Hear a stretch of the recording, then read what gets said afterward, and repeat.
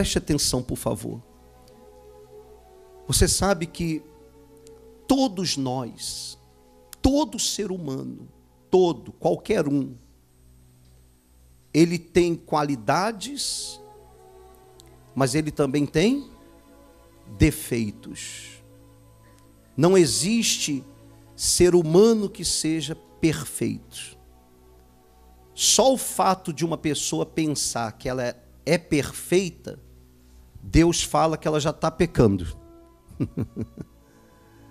Porque não existe ninguém que seja o quê? Perfeito. Existem pessoas que são boas em algumas coisas e não são boas em outras. É como uma profissão, né? Tem gente que é um bom advogado. Sim ou não? Ela sabe advogar, ela sabe defender uma causa, ela sabe ganhar uma causa, mas ela não sabe fazer um trabalho de marceneiro, por exemplo. Não sabe arrumar um, um problema elétrico em casa. E assim é na nossa vida. E como que nós podemos então ter uma vida aonde você seja sempre alegre, aonde você seja sempre feliz, aonde você sempre vença as lutas que surgem. Como que eu vou poder fazer isso sendo que eu não sou perfeito?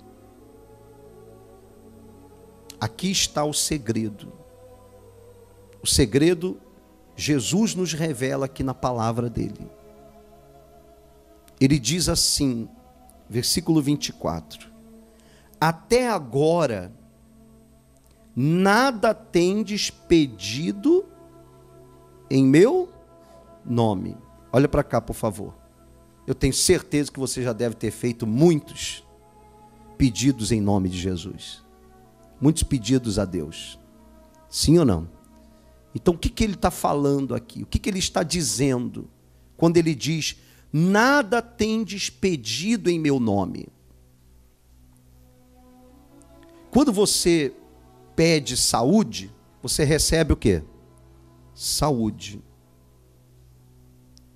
Quando você pede prosperidade, você recebe prosperidade.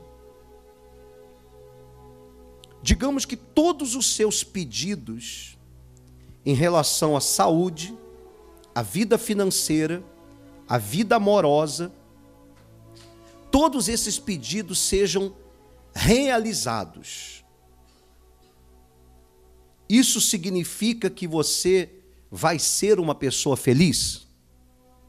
Hã? Não. Porque tem gente que tem saúde, dinheiro, está junto da família, sim ou não? mas dentro dela há uma tristeza. Dentro dela há uma amargura. Dentro dela há um vazio.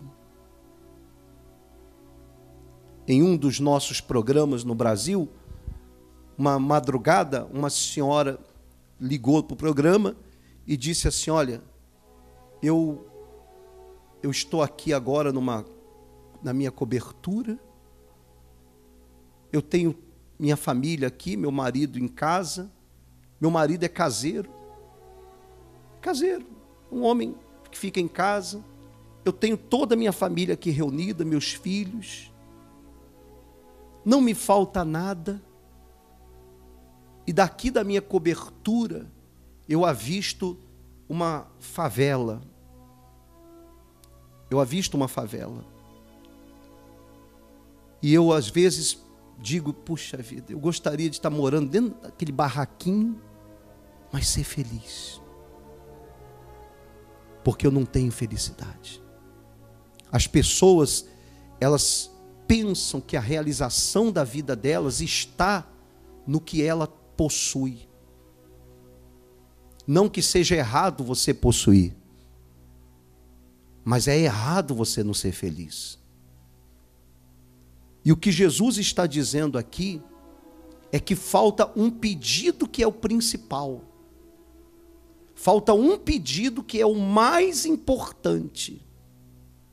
Que mesmo que você não tenha a saúde, mesmo que você não tenha o dinheiro suficiente, mesmo que você não esteja passando algum problema, você vai ter isso dentro de você. Ele diz assim: Pedi e recebereis, para que a vossa alegria seja o quê? Completa. Que pedido é esse que Jesus manda nós fazermos?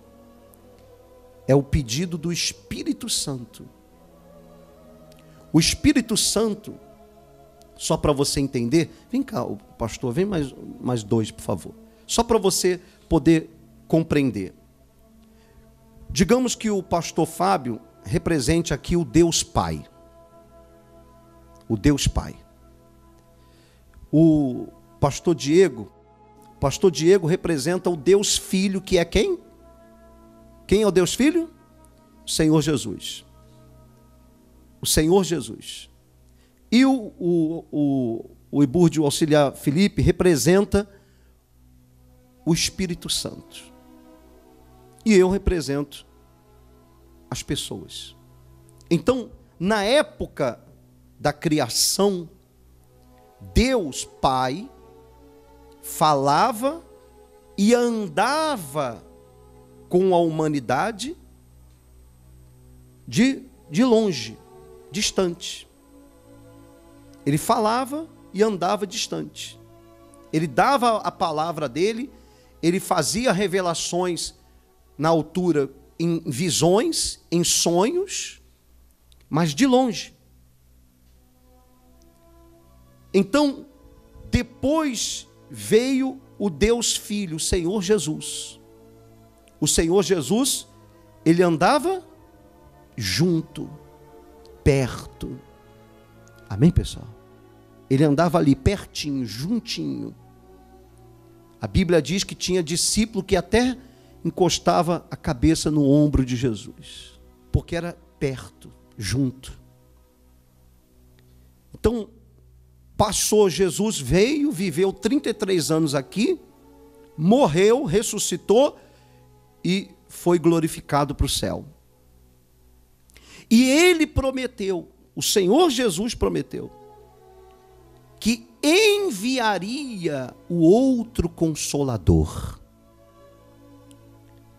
o Espírito da Verdade, que habitaria em nós, então não de longe e nem juntinho, mas aonde? Dentro da pessoa. O Espírito Santo, ele quer entrar na pessoa ele quer estar dentro de você. Ele é espírito e ele quer estar no seu espírito. Porque dentro dessa carcaça tem um espírito. Ele quer estar no seu espírito. Quando você tem a promessa do Deus Pai, você crê nele, então ele vai realizar muitos dos seus desejos. Você pode ter certeza disso. Amém, pessoal? Porque qualquer pedido que você pedia ao Pai, em nome de quem? Do Senhor Jesus, Ele vai te atender. Não importa se você é pecador, não importa se você é certinho, não importa nada. Absolutamente nada. Há pessoas que elas mataram, há pessoas que erraram, há pessoas que traíram, há pessoas que fizeram tudo de errado, mas quando ela fez um pedido a Deus, em nome de quem? esse pedido foi atendido. Por quê? Porque ele prometeu atender. Desde o aflito, desde o angustiado, a, aqueles que andam com ele também. Amém? Mas isso não vai fazer você ter uma alegria completa. Vai fazer você ter um objeto para pegar, para tocar, mas não vai fazer você ter uma alegria completa. A alegria completa só vem quando o Espírito Santo entra dentro de você. Amém? Aí Lembra que eu falei? Nós não somos perfeitos. Porém, quando o Espírito Santo entra dentro de você, aquilo que em parte você não é bom, ele é colocado de lado, ele, ele fica anulado por conta da presença do Espírito Santo. Se você ler aí em 1 Coríntios, por favor, mais para frente um pouquinho, no capítulo 13, versículo 10. Quando, porém, vier o que é o quê? Quem é perfeito? Só Deus. Quando vier, porém, o que é o quê? Perfeito. Então, o que é em parte será o quê? Aniquilado. Então essa parte ruim que nós temos, o egoísmo, o orgulho, a inclinação para aquilo que é errado, essa parte continua em você. Mas a presença do Espírito Santo faz isso estar aniquilado, anulado. Não tem mais domínio sobre a sua vida. Então você era um amante do Corinthians, você era um amante do Palmeiras, você se torna amante de quem? De Deus. O fulano, o beltrano, a coisa, o objeto era o seu ídolo. O seu ídolo agora é quem? é Deus. Amém, pessoal? Você consegue perdoar quem te ofende, porque quem está em você faz a mágoa, o ódio estar aniquilado. Está compreendendo sim ou não? Você consegue olhar para as pessoas com bons olhos. Você olha para ela com bons olhos. Você não olha para a pessoa com olhar de malícia. Você olha para ela com olhos bons. Ou seja, você vê como Deus vê. Quando Deus olha para você, para mim, Ele não está vendo o seu cabelo, Ele não está vendo a sua roupa, Ele não está vendo a sua maquiagem, Ele não está vendo o, o exterior. Não, Ele vê o seu espírito. Assim também você olha para a pessoa e você não olha com o olhar de condenação, de julgamentos. Você não olha procurando os defeitos dela para poder apontar o dedo para ela. Quer dizer, você passa a ter bons olhos. Então, você pode ser uma pessoa que sempre quis melhorar em alguma coisa. Sempre você tentou. Sempre você quis. Você sempre quis deixar de ser essa pessoa que você é. Essa pessoa de de um gênio difícil. Você, se, você reconhece que você tem isso. E muitas vezes você se esforça para deixar isso. Mas essa parte só será anulada quando vier quem? O Espírito Santo. E quando é que ele vem? Quando eu estou aqui na igreja? Não. Quando você pede. Quando você pede. Jesus disse assim: se o filho pedir um pão para o pai, o pai não vai dar para ele uma pedra. Se o filho pedir para ele um, um ovo, ele não vai dar um escorpião. Aí ele disse assim: muito mais o Pai Celeste dará a você o Espírito Santo se você pedir. Amém? Então o Espírito Santo quer estar dentro de você. É a única garantia que um ser humano tem para não viver inclinado àquilo que o leva à morte antes do tempo. Porque a parte ruim de uma pessoa leva ela a morrer antes do tempo. Por exemplo, uma pessoa nervosa. um jovem nervoso que leva uma fechada no trânsito e sai atrás da pessoa. A pessoa está armada, puf, acabou. Morreu antes da hora. Mas se ele tivesse o Espírito Santo, ele até ia se irritar na hora, mas ia ter o controle, ia ter o domínio. Amém? Vocês estão entendendo? Sim ou não? Quando você tem o Espírito Santo, por exemplo, você vive a sua vida comum do lar, sua vida com a sua esposa, sua vida com seu marido. Você não precisa trair a sua esposa, trair o seu marido, porque você tem dentro de si o espírito que te satisfaz. Não é mais uma mulher, não é mais um homem, não é mais uma relação que vai te satisfazer. O Espírito Santo dentro de você te satisfaz. Amém? Você não precisa se aventurar em nada. Então, se você quer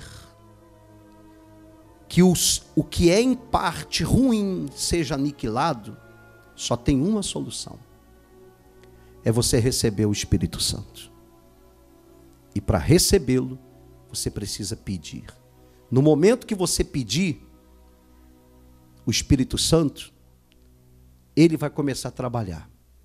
Ele também vai começar a te pedir. Quando você pedir ele, ele vai começar a fazer pedido para você também. Amém? E você vai se encaixar dentro da vontade dele e ele vai estar dentro de você. E quando for daqui um tempo não muito distante, você vai se ver outra pessoa. Aliás, você não vai nem perceber, mas na hora que você enfrentar aquela situação que você enfrentava antes e tinha a reação para o lado errado, agora você vai ver que, poxa, se fosse em outra época, é ou não é? Se fosse em outra época, se fosse, ah, se fosse alguns anos atrás. Tá entendendo sim ou não? Você vai vai ver que o Espírito Santo fez uma obra em você. E a obra maior do que lhe dar controle e domínio próprio é a obra que ele quer salvar aonde ele veio habitar. Ele quer salvar sua alma. Ele quer salvar o seu espírito. Amém, pessoal? Ele quer que você tenha a salvação quando a sua alma deixar essa, esse corpo aqui. Ele quer que essa alma esteja com ele eternamente, como ele é eterno. Amém?